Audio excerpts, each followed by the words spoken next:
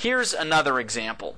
My leaving group, is it stuck to a primary, secondary, tertiary, or stabilized carbon? It's of course secondary, which means that it could be SN1, SN2, E1, or E2.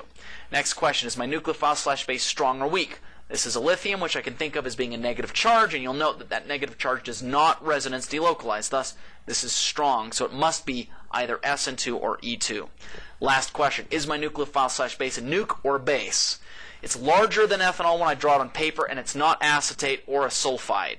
Thus, I can say this is a base, which means it will proceed through an E reaction. It will be E2.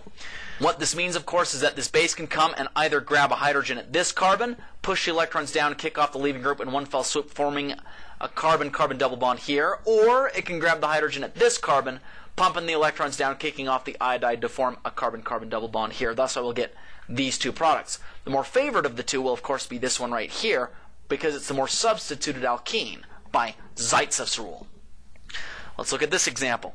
My leaving group stuck to a primary, secondary, tertiary carbon. It is, of course, stuck to a secondary carbon. That tells me it could be either SN1, SN2, E1, or E2. My nucleophile slash base, is it strong or weak? I, of course, have a localized negative charge on a carbon, thus it is strong, which means it's going to be either E2 or SN2. Next question, is it a nuke or a base? You'll note that when you draw this cyanide group on paper, it's smaller than ethanol. Thus, it's small enough to come in here to this carbon, do an SN2, and form a bond there, kicking off the iodide in a single step, meaning it is going to proceed through an SN2 mechanism. I will, of course, get this product with an inversion of stereochemistry because the cyanide nucleophile has to attack from the backside relative to where this iodine is. Okay, hope you're having a good time so far. Let's do some more examples. Looking at this one. Same exact molecule we looked at before, we note that the iodine leaving group is attached to a secondary carbon, which means it could proceed by SN1, SN2, E1, or E2. I go to my next question. Is my nucleophile slash base strong or weak? It's of course strong. Is it a nuke or a base? It's larger than ethanol, thus it is a base. Because it's a strong base, it's of course going to proceed by an E2 reaction mechanism. Thus, this strong base can come in, form a bond with a hydrogen at this position, dumping the electrons down, and kicking off the iodide in one fell swoop, forming a carbon-carbon double bond to the right, or it can do the same thing at the left. Now, please note that if this base forms a carbon-carbon double bond at the position to the left, it could form two different isomers. The isomer shown here, which is the E isomer, or the isomer shown here, which is the Z isomer. In reality, both of them will form. The E isomer will, of course, be the more stable and thus the more favored isomer. If I form a carbon-carbon double bond at the terminus, however, I also get this product here. In reality, I will likely get a mixture of all of these with the one shown here at the left being the major product. Alright, let's look at another example. Is my leaving group stuck to primary, secondary, tertiary, or stabilized carbon? It's of course secondary, which means it could be SN1, SN2, E1, or E2. Is my nucleophile slash base strong or weak? I've got a delocalized negative charge, which means that it's weak, which implies that it's going to proceed either through SN1 or E1. Is my nucleophile slash base a nucleophile or a base? It's larger than ethanol on paper, however, this is one of the exceptions I told you to memorize. This guy will behave more as a nucleophile, thus this will proceed by an SN1 mechanism.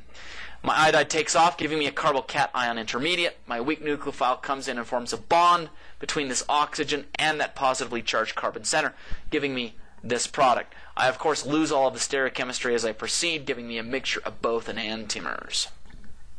Alright, I hope you're having fun. Here's another example. Now I've got something very, very similar, except my leaving group isn't quite as good of a leaving group. This is an OH instead of an iodine or a bromine. An OH is not quite as good, but I can still go through the same questions. Is my leaving group stuck to primary, secondary, tertiary, or stabilized carbon? It's of course secondary, which means it could be SN1, SN2, E1, or E2. Is my nucleophile slash base strong or weak? Well, this is interesting because you'll note it's actually an acid. There's no localized negative charges anywhere, so it's going to have to be weak, which means it's going to proceed through either an SN1 or an E1 mechanism. Is this nucleophile slash base a nuke or a base? Well, you notice that it's eventually going to give me an acetate nucleophile, which is one of the exceptions I told you to memorize. It is going to be a nuke. Thus, this will proceed through an SN1 mechanism. The mechanism for this one is actually a little bit interesting, and I wanted to show it to you. What occurs is we have our starting material alcohol, which is going to, of course, look over here and see our molecule, which is acetic acid. What's next going to happen is the lone pairs on this oxygen are going to reach out, form a bond with that hydrogen, pumping the electrons up onto the acetate and giving me this intermediate. This is, of course, a positively charged oxygen, and the reason is not because it lacks a full octet, but because it's forming three bonds. At this point, that positively charged oxygen takes off as a water leaving group, which is a very good leaving group, giving me a secondary carbocation at this position. This is, of course, completely congruent with an E1 mechanism. My acetate nucleophile now comes in and forms a bond with that carbon, giving me my final product. Because this acetate can come in either from the front or the back, three dimensionally speaking, I get a mixture of both enantiomers at this stereocenter. Whew. I hope this lecture's journey of going through this process of determining whether something will be E1, E2, SN1, or SN2 has been fruitful and enjoyable for you. In my final lecture on this chapter, I'll show you guys how to use elimination substitution reactions in synthesis, which I hope you're looking forward to with great anticipation. Until then, have an enjoyable rest of your day.